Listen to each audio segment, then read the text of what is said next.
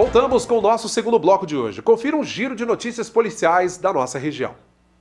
A Polícia Militar apreendeu uma submetralhadora caseira, um carregador de submetralhadora, munição 9mm, 24 buchas de maconha, 72 pedras de crack, material para embalo de drogas, além de dois celulares. Todo o material foi apreendido durante uma ação realizada na noite desta terça-feira no bairro Santa Cruz.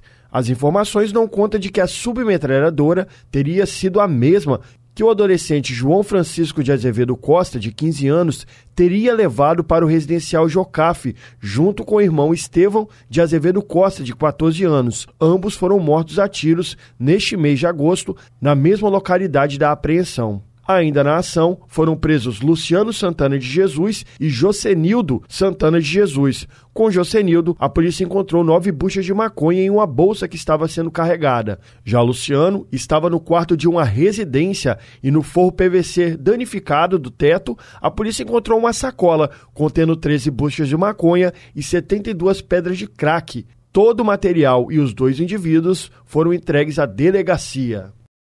No início da manhã da terça-feira, a polícia realizou a Operação Sentinela. Durante a ação, os policiais conseguiram prender Marcelo da Silva Lopes, que estava sendo monitorado pelo Serviço de Inteligência do 12º Batalhão da Polícia Militar. A prisão aconteceu na Avenida Presidente Kennedy, no bairro Araçá. Marcelo era evadido do sistema criminal com mandado de prisão expedido pela Segunda Vara Criminal de Viana. Na mesma região, na noite anterior, a polícia prendeu Gabriel Ricardo de Moraes, que também também tinha mandado de prisão em aberto.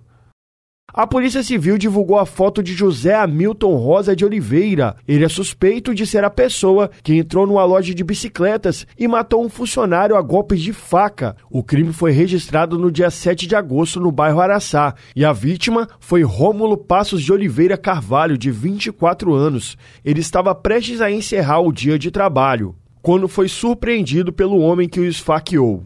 O pedido para a população é de que, se alguém tiver alguma informação que leve ao criminoso, que denuncie pelo número 181. A ligação é anônima.